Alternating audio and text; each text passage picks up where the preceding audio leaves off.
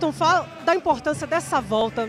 A gente sai desse período tão delicado de pandemia e o carnaval tem essa importância, né? De ajudar, de curar as pessoas, né? Fala pra gente um pouquinho. É um sonho, é um desejo, não é?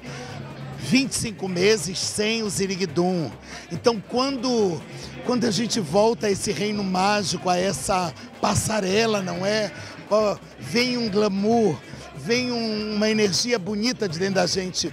O, o, carnaval, a escola de samba, é energia boa, é energia positiva. Então, voltar aqui é reencontrar o bem, que de melhor a gente tem, que é a, a potência artística do nosso povo a escola de samba é vitrine para o artista popular. Quem sabe compor, compõe. Quem sabe tocar, toca. Quem sabe dançar, dança. E as pessoas passam numa felicidade. E aí os gringos perguntam: mas como essa gente é tão feliz? Por que, que eles riem tanto? Eles moram mal, eles não têm dinheiro? Resposta: meu amor, a vida é misteriosa, é além do dinheiro. As pessoas elas têm uma energia bonita e não tem dinheiro, vai fazer o quê? Vai morrer? Não, vai sorrir, vai celebrar a vida.